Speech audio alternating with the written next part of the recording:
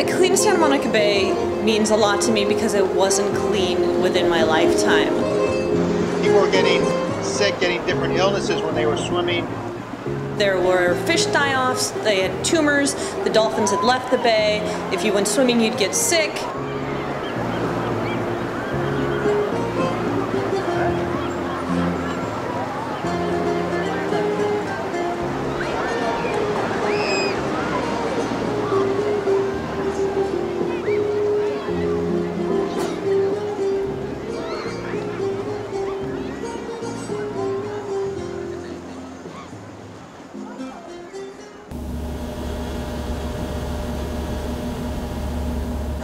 As far as I know, over the last 11 years, SMURRF is the only one of its kind in, in North America and I believe in the world is the Santa Monica Urban Runoff Recycling Facility. It's a joint project between the City of Santa Monica and City of Los Angeles because we're treating urban runoff, dry weather runoff from both cities. And the goal is to collect a majority of our dry weather runoff in our city and treat it, disinfect it, and keep it out of the ocean where it can cause elevated levels of bacteria and cause people to get sick, and then actually use that water to offset the use of potable water, which makes us a little more sustainable to use a local water resource, and then we use it for landscape irrigation and indoor toilet flushing. So SMURRF produces what's called in the state of California Title 22 recycled water. We estimate that we're treating about 90-95% of our dry weather flows through our city. Now again, I mean, it's most of Santa Monica's dry weather flow. So SMURRF facility has five treatment systems that get us to the non-potable recycled level. First treatment system is a rotating drum screen and it's actually rotating. There's a big drum up, up on top with a screen.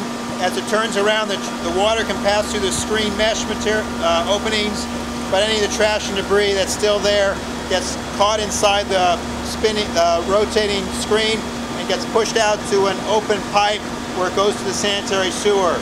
And from there it moves on to the second system. The water gets to this location inside this column. There's a big propeller that spins around and forces the water outward to where it hits the inside of the column.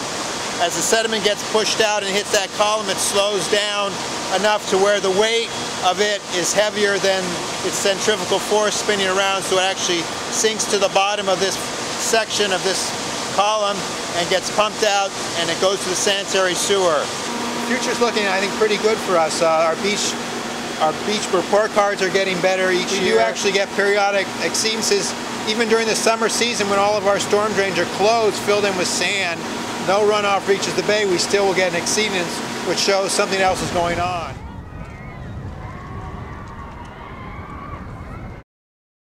Projects that are going, once they get turned on, are going to make things even better than ever. And from a swimming standpoint, I think um, in the next five years, we're going to see even better grades. This summer we had one of the best um, we've had, or this past year we've had we had some really good grades on our beach report card that Heal the Bay runs, which is great, and I think that trend will continue.